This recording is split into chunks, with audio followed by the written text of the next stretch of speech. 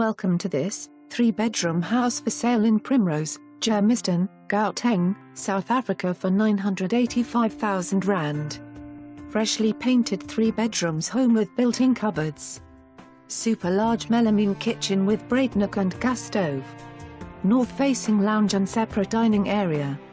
Offering main shower room and ensuite bathroom. Large stand with lots of space to build on. An outside building can easily be converted into a self-contained cottage.